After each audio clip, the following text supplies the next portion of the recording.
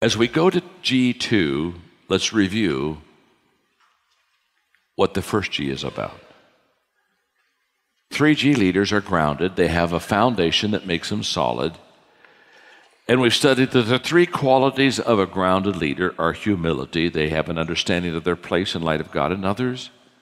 Authenticity, they are comfortable in their own skin. And three, they have a calling, they have a purpose that is bigger than themselves. The second G is growing. The great leaders are growing. They have a hunger that makes them stretch. Stay with me in the paragraph. A growing leader is a little wiser today than he was yesterday. He never stops learning, he never stops reflecting. He's not afraid of change because he knows that growth is dependent on it. He is more concerned about getting better than being perfect. He is constantly looking to improve himself and the people around him. So I sat down and I spent a great deal of time on this lesson because you know I wrote the law 15 laws of growth. I talk a lot about growth. And let me give you a little bit of my thought process before I teach it today. As I thought about you and how important you are to me, and, and I thought about the vitality that growth brings, I began to ask myself, what are the areas that a person has got to make sure that they grow in? I suppose we can grow in a lot of areas, but if you're going to be really good, you got to get it down to a few areas where you say, these are essential to my success. And what are they? And so I had the most wonderful day. Margaret and I have a cottage up in Highlands, North Carolina, and it's in the mountains, and it just lets me get away. And I took my legal pad and I asked myself for an entire day, John, what are the essential elements? What are the essential areas that a person really needs to grow in to be successful? Let me give them to you. Number one is confidence. Confidence. I love this humorous thought on confidence that I have next. Confidence is the uplifting feeling you have before you truly understand the situation. Hey, by the way, show your hands. How many of you have been there before, huh? you just feel so confident and you feel so good, you go, oops, oops, oops. Okay. Great leaders are confident in themselves. They're confident in their vision, and they're confident in people. And the result of that confidence in themselves, their vision, and the people. The result of that is that the people have confidence in their leader.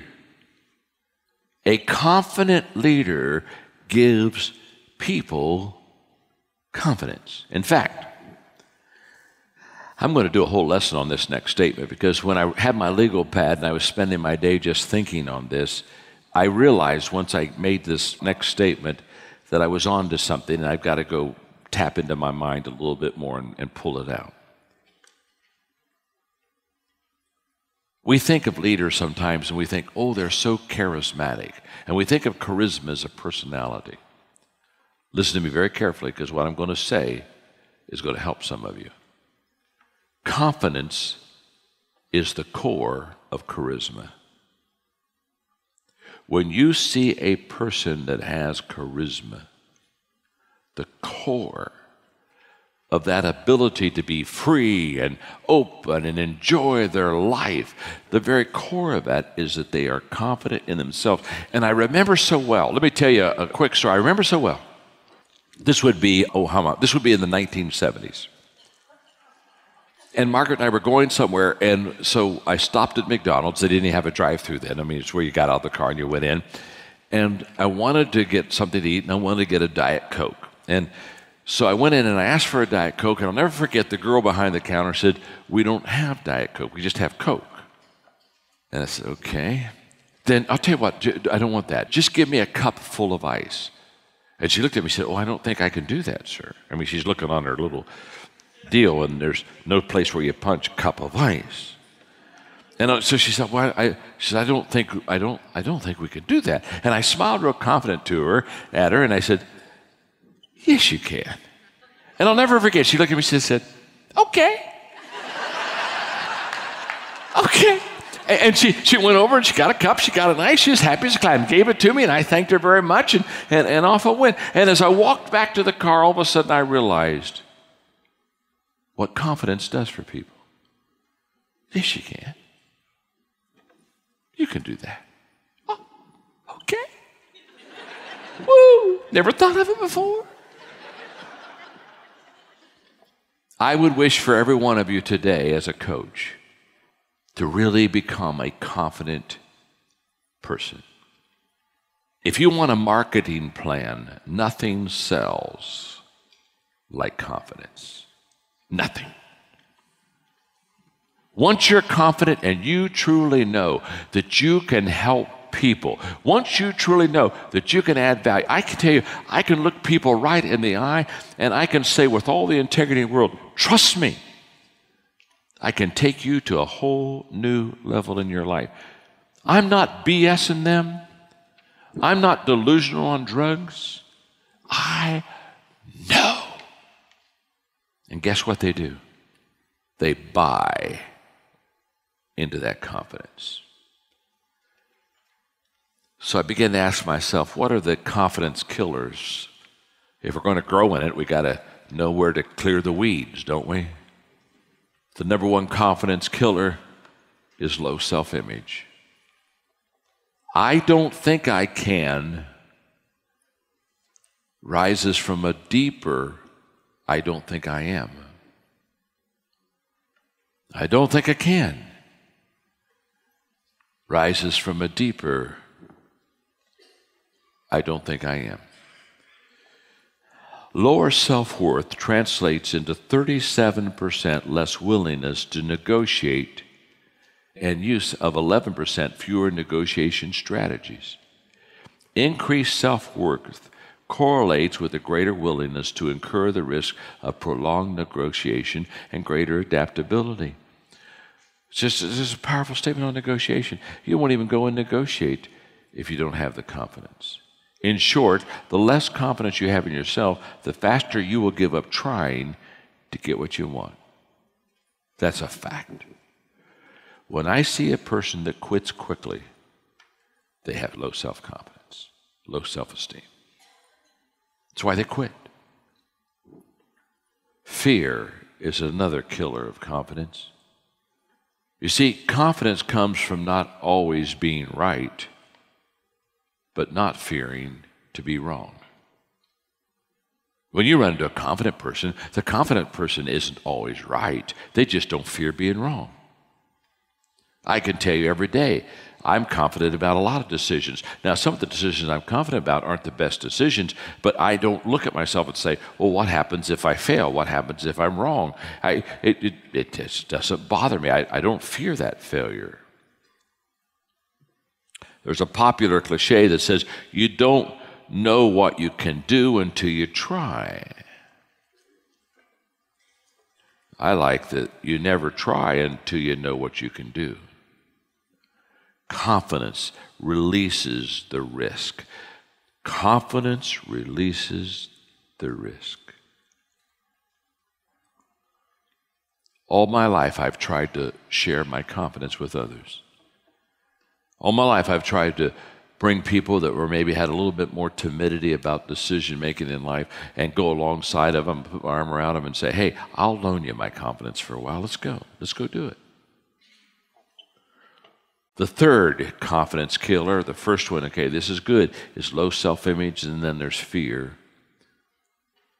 The third confidence killer is other people's opinion of you.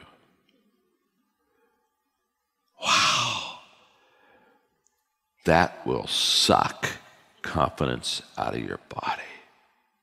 If you worry about what people think of you, it's because you have more confidence in their opinion than you have of your own. And I see people all the time. They say, well, I wonder what they're going to think. Well, what will they think? Who gives a crap? Listen to me. My name's John. I'm your friend. Since when? Since when did you always feel so low in your self image that you lowered your opinion of yourself so much that you let somebody else walk in your life and trample all over it? They don't have that right. And yet I see people do it all the time. When you get confidence, you won't let people walk all over you. You won't let people take advantage of you. You won't let people all the time manipulate you. You won't become a victim of everybody else and, and kind of, well, I, this is kind of the way it is. You're going to meet the most wonderful person in the world tomorrow morning when you meet my father. I respect my father more than any human being in this world. He's truly the greatest man I know. I love him more than life itself. And when you see him and you hear him tomorrow, you're going to fall in love with him. Because who he is is greater than what he says. He's an amazing person. And I was in an organization that was hurting my growth. I was in an organization where negativity reigned and it was full of dysfunction. And I was a young kid who really wanted to make a difference. And every time I tried to make a difference, it's this number. You know what I'm saying? I'd, I'd raise up and get, I'd get pounded back down. And I, I would pull away and I'd try again because it's all I knew. It's where I got educated. It's where all my friends were. And my father was the most influential person in that organization. He wasn't like those people. I grew up in an amazing environment, but in that little environment I grew up, all around me was poison. And I can remember at 33 deciding I had to leave that organization. It wasn't hard to leave the organization, but that meant I had to go to my father and tell him that I was going to leave what he loved and what he knew and what he had hoped for me because I was the kid everybody said would follow my father's footsteps. And I had to go walk into my father's life and say, Dad, I'm not following your footsteps here. I'm leaving this organization. Now, I wanted his blessing. But I can still remember telling Margaret, I pray for his blessing, but if I don't get it, I'm going anyway. That day is as clear as if it was yesterday. It was a half a life ago. I'm 66. I was 33. And I made appointment with my dad at his office. And I sat down for three hours and I wept like a baby. And I said goodbye to the people I knew and to the school I knew and to the church I knew and to the culture I knew. And I looked at my father and I said, Dad, I'm going. You can't talk me out of it. Can I have your blessing? Now, fortunately for me, he loved me and gave me his blessing. But let me tell you what I did to my dad. My father, for the next six months, had to explain his son to all of those people. There are some of you in this room, you'll never rise to your potential until you get rid of the people in your life. Are you hearing me? You had better get some courage, or you're going to suck around and live in a leper colony and wonder why you never get whole. If I could do anything for you, I would walk into your life and I would breathe courage into your life. And courage is a result of confidence. You have never seen a courageous person that didn't have confidence. It is not the difficulties that defeat us, it's the lack of confidence in ourselves that defeats us. Confidence is the cornerstone of leadership.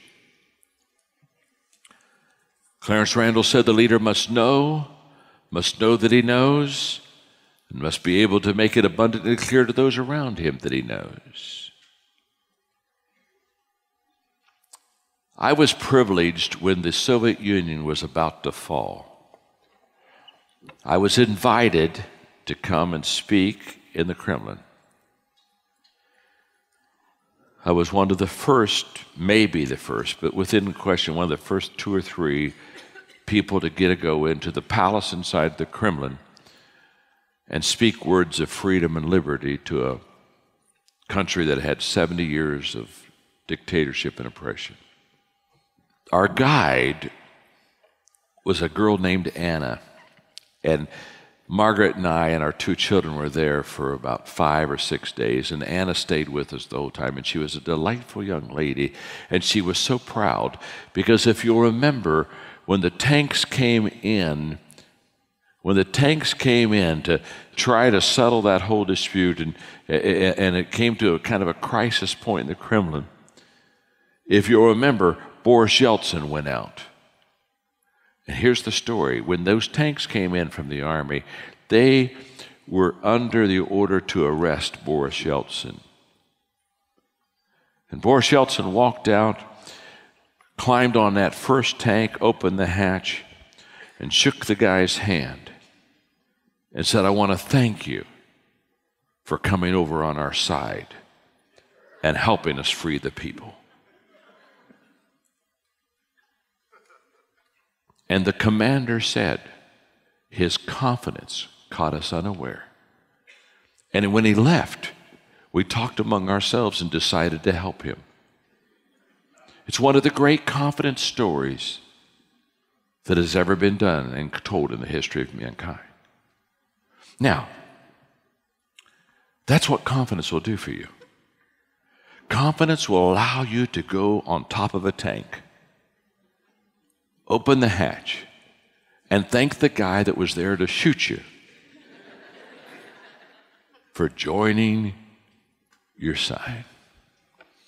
I love that story. Every time, and Anna, our little Anna guy, she would just cry and she said, she said, I was there.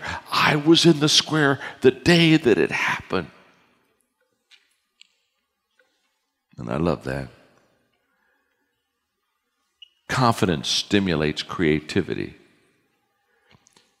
that discovers answers. Confidence will stimulate a creativity that will discover the answer. Teddy Roosevelt said, Whenever you're asked if you can do a job, tell them, Certainly I can, and then get busy and find out how to do it. I've done this all my life.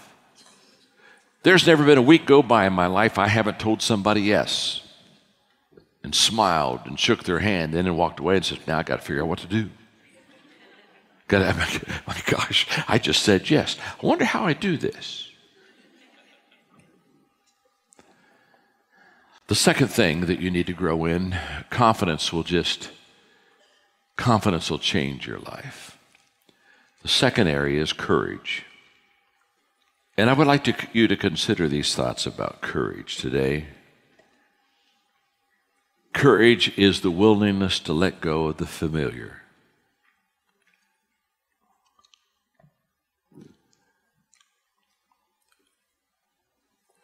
What you have known and what you have done hinders you from being what you could become.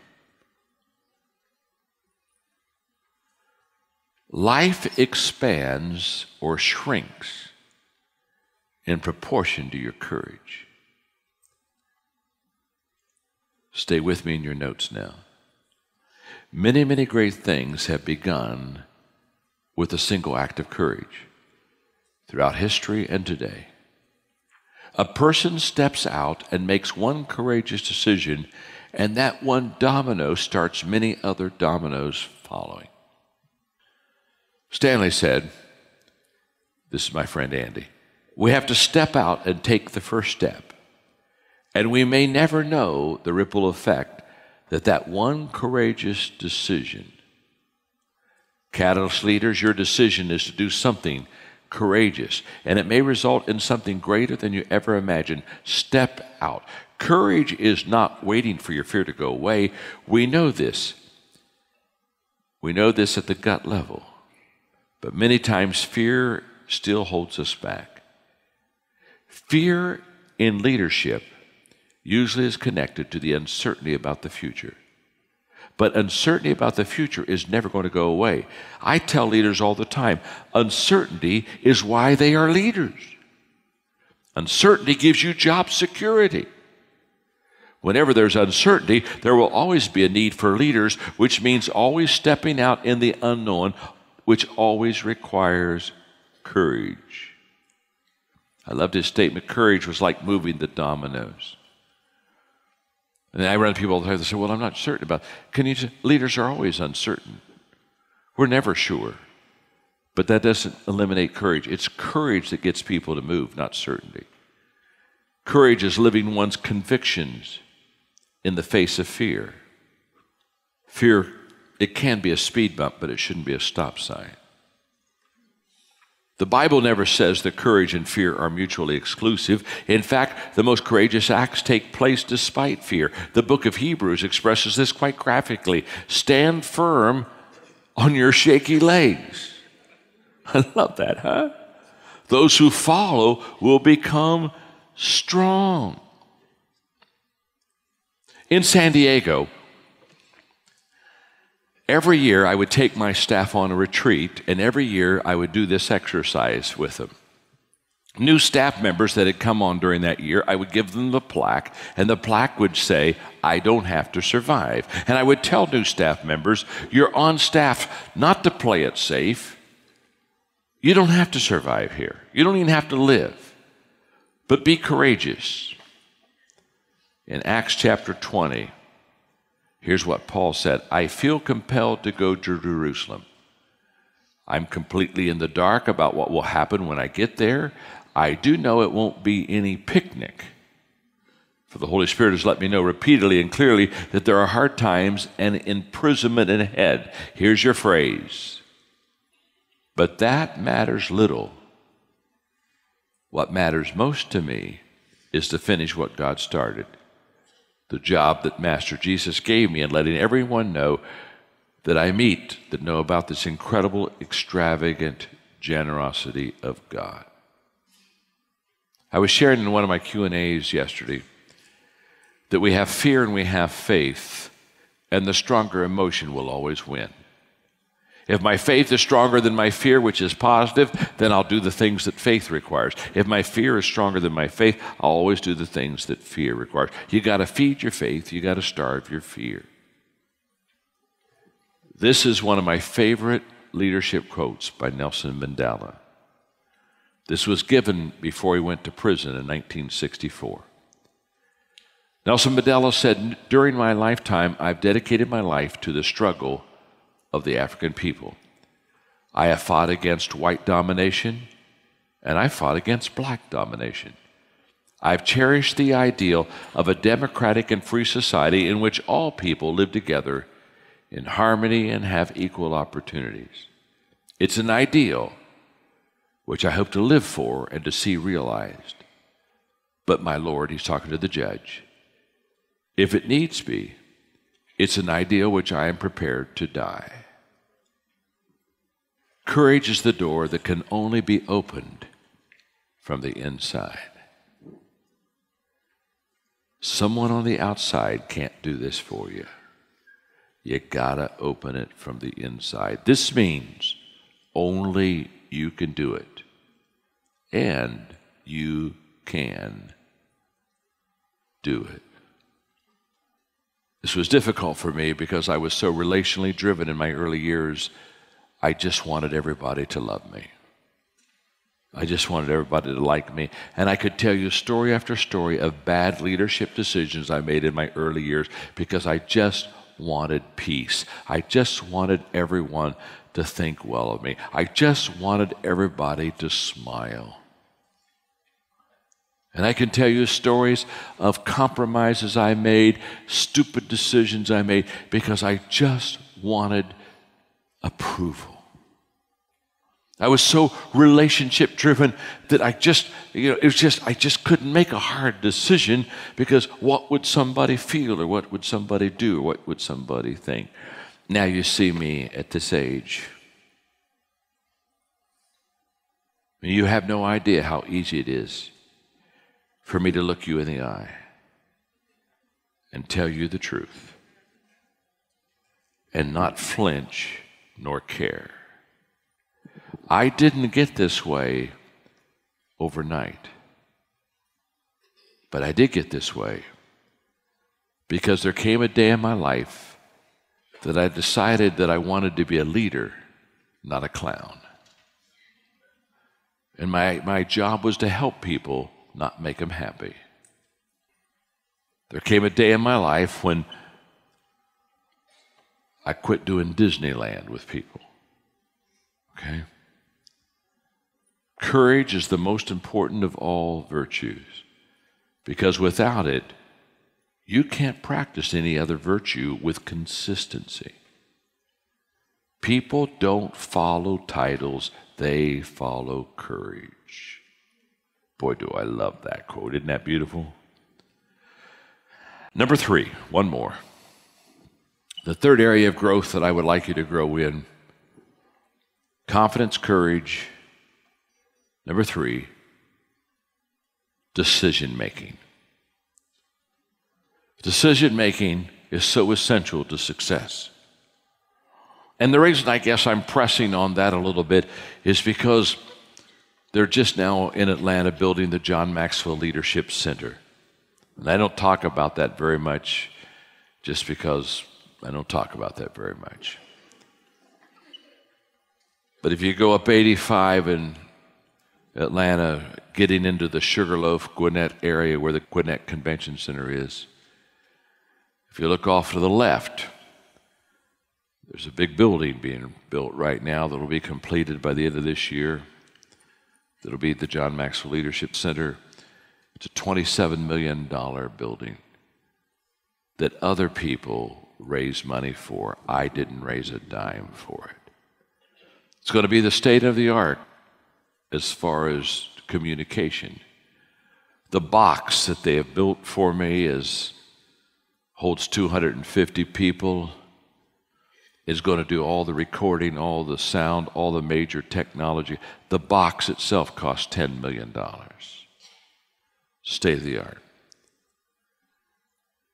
And in the John Maxwell Leadership Center, they're going to have a boardroom. And so the people around me said, John, we would like for you in the boardroom, since you have discussions and make decisions, we would like you to put the most important decisions that you've ever made in your life. And we'd like to put it around the boardroom so when people go in and have meetings, they would be able to read and say, oh my gosh, that was an important decision in his life. So I'm going to give you the five decisions that have formed my life. This in itself could be a two hour lesson. I'll just give them to you, okay? The first category is what I call ministry decision. And at the age of 23, this was the quote that I kind of accepted for my life and ministry. I will attempt things so big that if they're accomplished, only God will get the credit. And throughout my life, I've tried to make decisions that were so big that when they happened, only God would get the credit. I'm in one right now, as you know, because you're helping me with Guatemala. My gosh. A whole country, president on down, teaching and learning leadership values and, and working on becoming transformational leaders. Instead of giving you the examples, I want to read you this paragraph. There are times when I feel obligated to lead farther than I have walked. Let me stop there for a moment. Have you ever been there? You got to lead farther. You say, I haven't even walked there yet. There are times when I feel obligated to lead farther than I have walked. I don't feel holy enough, faithful enough, strong enough, gracious enough, competent enough, or qualified enough. It is at that time that I allow my weaknesses to bring me to God, who is more than enough. The second group of vital decisions I have made in my life that have formed me are personal growth decisions. And at the age of 26, I said to myself, I will intentionally grow every day and I will develop my strengths. Let me take you again, not two examples of it, don't have time for that. Let me just take you to the paragraph. My growth journey from here to there has been often lonely. The reason is that I'm willing to admit wrong because of my desire to grow and change. Stay with these words, they are powerful. Growth is a result of bad habits dropped, wrong priorities changed, and new ways of thinking embraced. Here we go, here we go. The people who do not grow are unwilling to leave what they have known and practiced. They're not willing to admit wrong so they can discover what is right. Therefore, they cling to right, and their lives turn out wrong. How sad. Surrender of being right is a prerequisite to finding right. You can feast your mind on that for about a week. Thirdly, is partnership decisions. At the age of 30, I basically said this I will first help others get what they want and what they need, then they will help me get what I need. My wonderful friend Zig taught me that. And partnership has been absolutely huge in my life. And I'm grateful. The John Maxwell team is a classic example of partnership. Again, let me read just the statements, the paragraph. Early in my life, I had a decision to make. Would I be a ladder climber or a ladder builder? In the beginning, I made the wrong decision. I chose to be a ladder climber. I viewed all of my colleagues in ministry as competitors, and I worked hard to climb the ladder faster than them. As I started to succeed, I felt lonely and unfulfilled. I changed and became a ladder builder. I began to complete others instead of compete with them. I discovered that helping others succeed with me is more rewarding than my personal success. The fourth area of decisions that are key, I believe, in growth is relationship decisions. At the age of 33, I said, I will live in such a way that those who are closest to me will love and respect me the most. My best friends are people who've known me the longest and are the closest to me. Here we go. Success creates a gap between myself and others it's my responsibility to close that gap. I don't want fans, I want friends. I don't want to be above the crowd, I want to walk slowly through the crowd. However, for many, that gap is still wide. They see me on stage, they read my books, and they use my resources, they know about me, but they don't know me. But my family, my inner circle, my longtime friends, they know me very well. They know my weaknesses and often are recipients of my shortcomings. To be unconditionally loved by those who know me well is my greatest joy. I am not a self made man. I am who I am because of those who cared enough about me to touch my soul. Leadership decisions. At age 48, I will add value to leaders who will multiply value to others. Read one more paragraph. In 1976, I was called to train leaders. Over the years, that calling has evolved and taking shape. Resourcing leaders became an early commitment of mine, and then the Hatchet Committee determined that my speaking schedule should give priority to the number of leaders that would, we would have in the audience. Then my publisher, Thomas Nelson, discovered that 60% of my reading audience was in the secular community. And I immediately sensed God directing me to focus on that market and to be salt and light in the business community. Often people ask me about my legacy. It is in the hands of leaders we have trained. Those hands will live beyond me and reach people that I could not have reached. And I close with this look me in the eye. It is in your hands that I give my legacy. Thank you very much.